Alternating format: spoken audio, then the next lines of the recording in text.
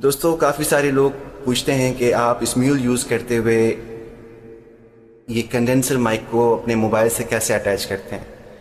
तो मैंने सोचा कि एक वीडियो बनाकर इसके बारे में डिटेल से बताया जाए कि क्या क्या रिक्वायरमेंट्स हैं, कैसे आप जो है वो किसी भी प्रोफेशनल माइक्रोफोन को अपने मोबाइल के साथ अटैच कर सकते हैं। तो सबसे पहले बात करते हैं रिक्वायरमेंट्स की कि आपके पास क्या क्या चीज़ें होनी चाहिए। तो सबसे पहली नीड जो आपको पड़ेगी वो एक्स एल आर केबल की होगी। लेंथ आप अपनी मर्ज़ी के हिसाब से जितना दूर रखना चाहते हैं, उस हिसाब से आप इसकी वायर की लेंथ रख सकते हैं। लेकिन ये एक्स एल आर केबल कहलाती है, आपको ये मार्केट से इजीली इलेक्ट्रॉनिक मार्केट से आपको ये केबल मिल जाएगी। इसके अलावा आपके पास आई रिक प्री ये दूसरी बेसिक जो है वो नीड है। ये आपके पास होनी चाहिए। ये छोटी सी एक डिवाइस है जो आपके प्रोफेशनल माइक्रोफोन को आपके एंड्रॉयड फ़ोन से या आपके एप्पल फ़ोन से कनेक्ट करती है।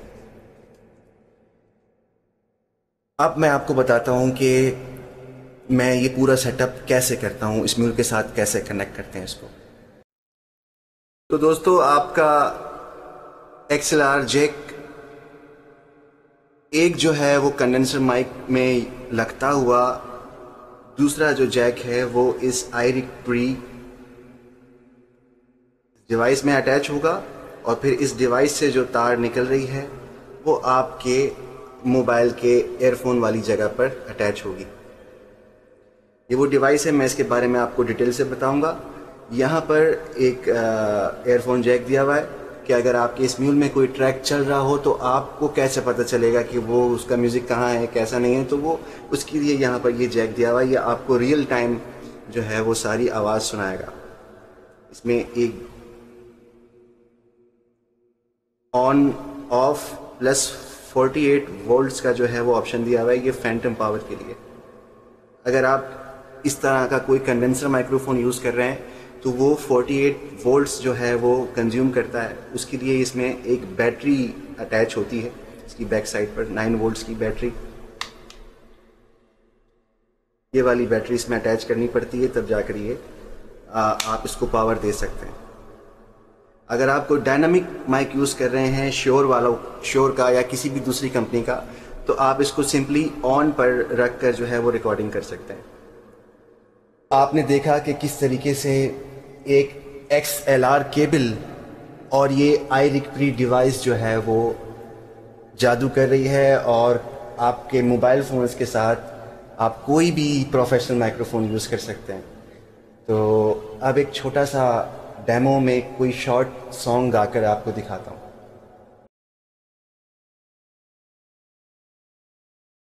वहीं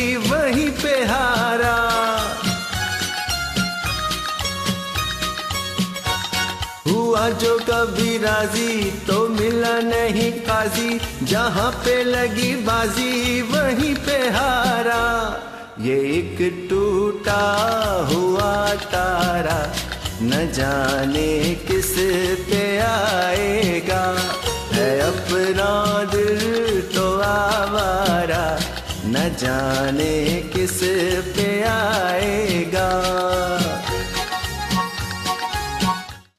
एक और सवाल जो अक्सर मुझसे होता है, वो ये कि क्या हम अपनी आवाज़ रिकॉर्डिंग के दौरान सुन सकते हैं? क्या हमें अपनी आवाज़ आती है? हाँ जी, बिल्कुल आती है।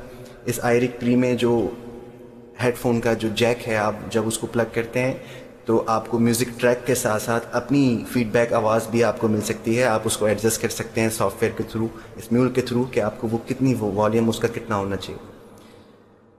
और एक सवाल और होता है कि मैं कौन सा माइक्रोफोन यूज़ कर रहा हूँ? ये जो इस वक्त माइक्रोफोन इस वक्त आपको नज़र आ रहा है, ये रॉड कंपनी का है और ये इस शक्ल में, इस पैकेजिंग में मेरे पास आया था। The complete vocal recording solution ये जो उसमें पॉप फ़िल्टर है, ये भी अटैच था इसके साथ, ये फ्री इसी बॉक्स में, इसी पैकेजिंग में आया है। ये जो शॉक माउंट है कि आप जो है रिकॉर्डिंग के दौरान आपकी जो है वो गिर ना जाए। अब इसके लिए शॉक से बचाने के लिए ये शॉक माउंट होता है। ये भी इसके साथ जो है वो आया है। सिर्फ़ आपको स्टैंड लेना पड़ेगा अलग से अगर आप लेना चाहें। इसके अलावा भी अगर आप कुछ और सवाल हैं, आपको जो अभी तक क्लियर नहीं हुए तो आप वो मुझसे कमेंट सेक्शन में पूछ सकते हैं। आई होप आपको ये वीडियो अच्छी लगी होगी। अगर पसंद आया तो इसे शेयर कीजिएगा, अपने दोस्तों को बताइएगा। वीडियो देखने के लिए बहुत शुक्रिया। खुदा हाफिज़। है अपना दिल तो आवारा न जाने किस पे आएगा।